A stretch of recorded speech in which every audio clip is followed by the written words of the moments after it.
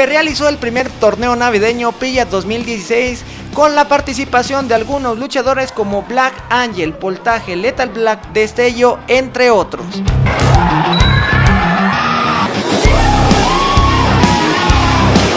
Al filo de la butaca, los asistentes observaban los castigos, vuelos y piruetas de sus máximos ídolos.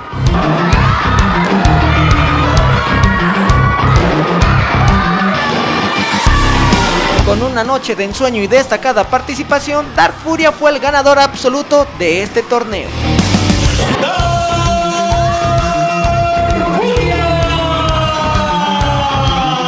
Merecidísimo este triunfo. Pues mira, veníamos trabajando muy duro, se logró el, el objetivo.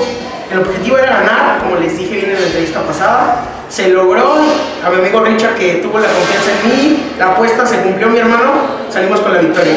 Prácticamente rendiste a cuatro de todos los luchadores, o sea, tuviste la mayor rendición y pues bueno, se llegó al triunfo, ¿no?